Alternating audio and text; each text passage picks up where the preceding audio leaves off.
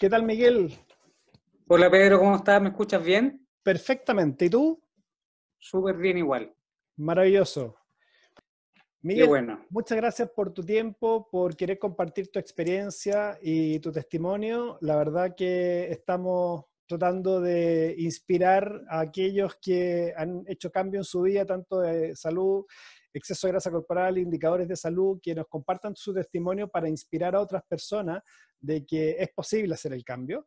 Eh, hay mucha información, lo que se transforma en desinformación, y, y, nada, pues la idea es generar esta masa silenciosa de personas que permitan dar vuelta a la salud en este país, que hoy día eh, siendo el, nivel, el número uno de obesidad en el mundo. Y además que ahora sabemos que la obesidad y la diabetes tipo 2 son eh, factores de riesgo para contraer el COVID, que se va a ir ahora seguramente en quizás cuantos meses más, pero va a volver, así que queremos ser un, un agente de cambio para, para, inspirar y ayudar a sanar a las personas. Así que cuéntame tu historia. ¿Qué, qué es de tu historia? ¿Hiciste dietas? ¿Cómo llegaste al método? ¿Qué, qué fue de tu día? El 2008-2009 me fui a Santiago. Yo creo que estuve en Santiago como a los cinco años más o menos, empecé a perder peso, me empecé a adelgazar. ¿Ya? Señora, como buena, buena señora, me dijo, oye, hazte examen, te pasa algo, no hice caso, nada, seguía adelgazando, adelgazando, adelgazando. El, en enero del 2017 mi señora se fue a hacer exámenes y yo aproveché de eh, hacerme un examen también de sangre, al cual yo me lo hice a las 8 de la mañana y a las 11 de la mañana me llaman por teléfono que fuera a retirar el examen porque eh, la niña me dijo que estaba un poco alterado.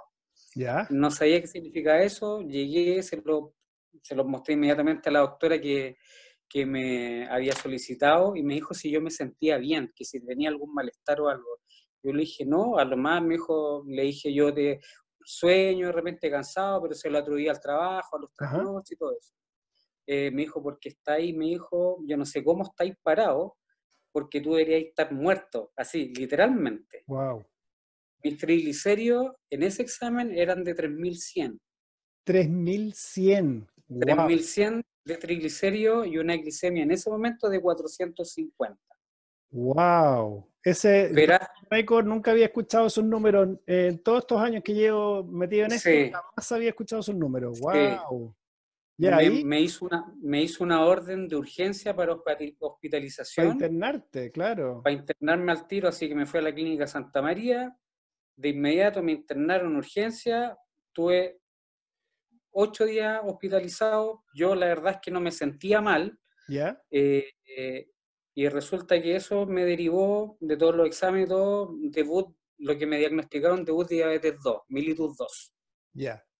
Así que salí con ese diagnóstico el 2017, eh, seguí tratamiento, me, me, bajaron los triglicéridos a 350 y me dieron de alta.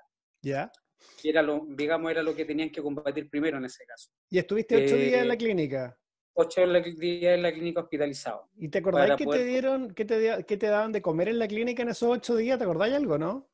Sí, bueno, las típicas jalea, light. ¿Ya?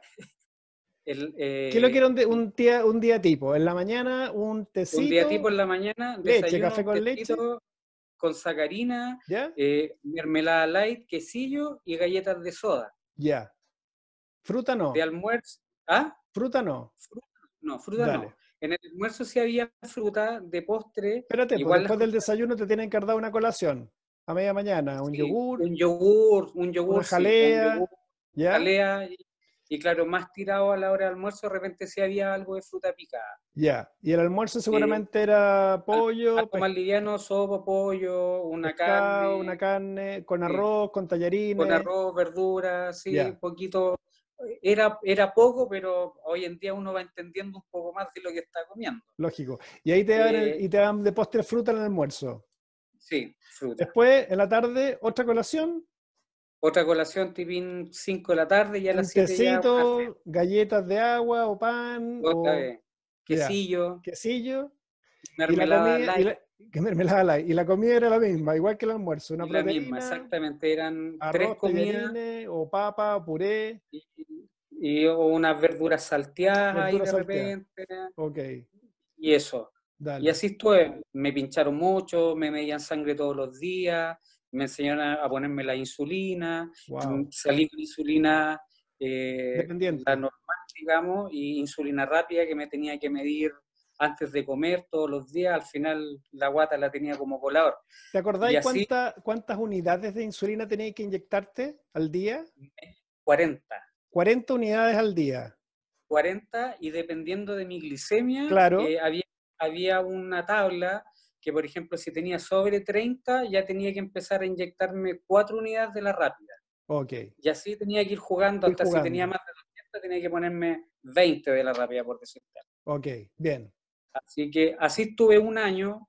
Eh, en ese año se me, se me reventó una retinopatía diabética. Wow, eh, el ojo, donde me estoy inyectando bastín y láser y todo para mantener el sistema controlado. Eh, porque al final eso funciona con tus subidas de glicemia y ahí está, ahí está el foco. O sea, si uno no cuida eso, la verdad es que te va haciendo daño cada día más. ¿no? Eso, mira, ese punto es súper importante lo que estáis diciendo, porque a ver, la gente no sabe básicamente lo que es la diabetes tipo 2, que es tu cuerpo diciéndote no me des más azúcar porque no tengo, no puedo, no puedo procesarla en el fondo. Y por eso eso es algo que pasaba a los adultos mayores, a los 70, 80 años, era normal que un adulto fuera eh, diabético tipo 2 porque tiene menos masa muscular, seguramente seguía comiendo exactamente lo mismo, eh, se movía menos, entonces al final empieza el cuerpo a tener demasiado azúcar en la sangre por la alimentación que está teniendo y eh, tu cuerpo no la puede administrar y ese alto de azúcar en la sangre es tóxico y la toxicidad se manifiesta en daños neuronales, en daños en tus vasos sanguíneos y, y, todo el mundo piensa que no, sabes que tengo prediabetes, resistencia a la insulina, oh no, me dijeron que, pero no saben que el que te avisen que tienes resistencia a la insulina o que tenga, que es prediabetes, que es lo mismo, en cuatro o cinco años, si no haces algo, vas a tener diabetes.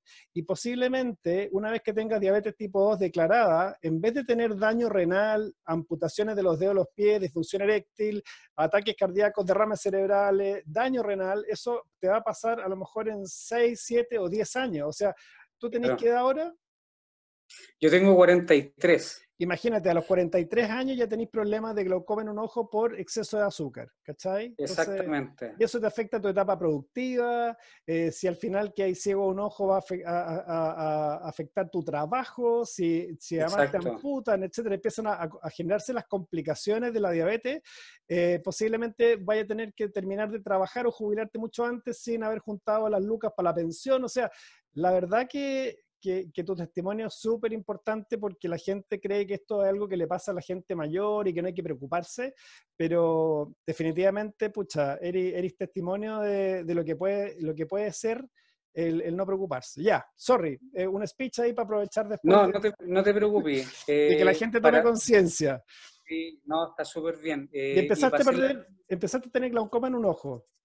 Sí, empecé, bueno, me traté porque de repente veía como borroso y un momento que vi una mancha negra en mi ojo izquierdo. Ya. O sea, yo pensé que cuando uno se levanta en las mañanas, de repente ve como nublado. Tenía una lagaña eh, o algo. Claro, yo me refregué y, y, después uno empieza a ver, claro, más internamente, miráis como a la luz y veis como flota toda, lo, donde se te reventaron los vasos, que al final son eh, son como te dijera, eh, es sangre que tienes Exactamente. en los son que los vasos se te revientan. Claro, son coágulos de sangre que quedan circulando. Exactamente. Exactamente. Y bueno, eso eh, pasó el, todo el 2017 y el 2018 como que tiré el esponja un poco y me descuidé. Pregunta. No volví al éxito. Después saliste y te dieron de alta, porque ya comí, ya viste, ya vimos lo que comí durante la, cuando estuviste hospitalizado. ¿Qué recomendación te hicieron de alimentación cuando te dieron de alta? Te dijeron, Miguel, esto es lo que tú tienes que comer para el resto de tu vida. Cuéntame, ¿qué, te dijeron que comieras? Sí, mira, como que no me... Bueno, me dijeron eh, el tema de los azúcares, eh, fijo, que bueno, la miel, todas esas cosas que son como azúcares potentes. El tema del pan, me, me, dijeron que podía comer pan integral. ¿Ya? O pan blanco de molde, así tanto, eh, tantas, eh, ¿cuánto se llama? Eh, porciones. Te dieron porciones de todo un poquito. Exactamente, la... si quería comer, por ejemplo, eh, no sé, arroz, una medida de tantos gramos de arroz. Ok. Pero Pasta, no legumbres, Claro. fruta, o sea, por Sí, eso, era eh, la típica receta de come de todo, pero poquito. Exactamente, y es como, es como yo he escuchado, eh, cuando tú has dicho de repente en los programas, que igual lo he visto harto, eh, esa como la fotocopia de la dieta, Ajá. Que te entregan, como que le cambian el logo de, de la corporación o de la clínica o el centro, Tiene una pero dieta es como exactamente lo mismo, exactamente. Eh, ¿En qué, rango bueno, se movía, ¿En qué rango se movía tu azúcar en este año después de que te dieron de alta? En- entre el 17 y el 18, ¿en qué rango de azúcar andabas tú normalmente? ¿En las mañanas, cuando te despertabas? ¿O durante el día? Después que me dieron el alta, ¿Sí? Bueno, con la insulina, bueno, Sí. tomé metformina para el tema de los triglicéridos también, eh, y me dieron la, el famoso, eh, ¿cuánto se llama? El genfibrosilo, que es para el tema de los triglicéridos, Ajá. eh, y mi azúcar ahí, yo te digo, nunca bajé de 140. Ya. Con todo lo que me Con colocaba todo lo que te inyectabas, tu siguiendo- azúcar estaba normal en siguiendo- 140. y siguiendo la dieta. Hablemos del, del año que Sí. yo seguí el tratamiento. Sí, sí. ¿Cachai? Nunca logré bajar menos de 100, 139, me acuerdo, porque yo tenía que llevar una tablita para poder a la, a la, a la doctora. Y, y volviendo ya ahora, digamos, yo al final fue un año eh, que como que boté la esponja, dije, ya, filo, igual uno, uno igual se autoconvence de que igual, de alguna otra forma, igual está bien porque no tiene mayores síntomas. Exactamente. Pero la diabetes es silenciosa en el fondo, o sea, Exacto, igual te va comiendo cada día. Sí. Eh, el marzo del 2019, bueno, nos vinimos a ir a Temuco el año pasado con mi hijo y mi señora, ¿Ya? eh, y tomé la opción el- en marzo, en febrero de ir a, a ver una diabetóloga acá en Temuco, Ya. eh, que me hizo los exámenes, igual salieron alterados, obviamente, triglicéridos tenía, en ese tiempo, eh, no los tenía, los bajé, los, los pude controlar, pero igual tenía 800. 800, glicemia igual, 360, 370, eh, y me mandó a hacer un examen de anticuerpos para ver si yo tenía, si estaba mal diagnosticado. Y ese examen de anticuerpos me salió que yo tenía diabetes tipo LADA, que es 1.5, una diabetes autoinmune, Ya. Que es como diabetes 2 con cola de 1. Sí. Entonces, o sea que está ahí con un raya para la de daño del páncreas en el fondo. Exactamente. Raya para la suma, lo que dices tú, y lo otro que todo el tratamiento de metformina y todo eso, como es autoinmune, los medicamentos orales no me sirvieron para nada. O sea, yo al final me estuve metiendo pastillas las y fue por las puras nomás. Y además que no es tanto por las puras, porque todas esas pastillas tienen impacto y tienen efectos secundarios. ¿Cachai? Entonces, final, es como que "Ah, no tomé las pastillas, no me sirvieron porque tenía otra condición. No, igual te estaba afectando, igual el exceso de dosis de insulina que el cuerpo se va adaptando, tienes que ir aumentándolas en el tiempo, es como igual que las drogas, en el fondo el cuerpo se adapta, así que tienes que subir la dosis. Y, y nada, pues yo he escuchado gente que ha llegado a tener 180 unidades al día eh, de insulina y es como que no, me pongo más, pero no, pues no es más, porque tiene, va a Mm. tener impacto en todos tus órganos y en todo tu cuerpo, así que No, y el tema, el tema de la insulina es súper heavy porque al final, claro, te inhibe el tema del azúcar un poco, pero es una, es una atrapadora de grasa también en el tiempo. O sea, sí, al final es de doble filo, sí, ¿entendí?